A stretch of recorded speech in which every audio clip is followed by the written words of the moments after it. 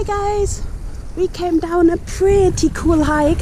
We started off over there pretty much on the right end of that bay you can see in the back.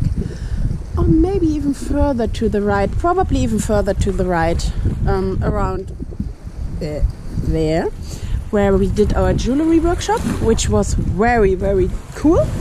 And both our pieces of jewelry turned out quite nice. And um, when we came out there, it was still very foggy and cloudy and cold. But we decided, ah, screw it, we are going to Ponte, po, Ponto Timoni or Porto Timoni, I think Porto Timoni.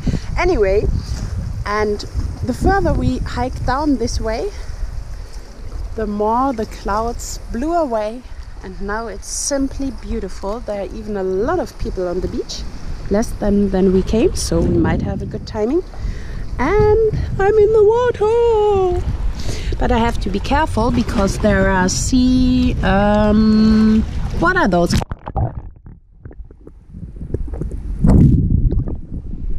always think sea urchins but then I think that's the other animal I'm thinking of but maybe it's sea urchins after all and the other one is called a like a starfish? Yeah, I think that's what I'm looking at. Let's go swimming, guys. Hold on.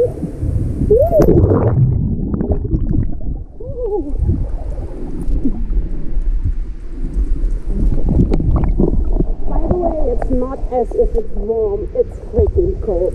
But I so don't care. I'm just enjoying the sun and it's just wonderful and I love the GoPro. I really do.